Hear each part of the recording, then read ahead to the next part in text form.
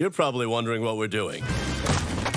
Short answer saving the Earth. Again. Wednesday. Tell me how we're supposed to fight off a team of poachers with no firepower. Some of them just come closer. That cane is a weapon? You mispronounced you're welcome.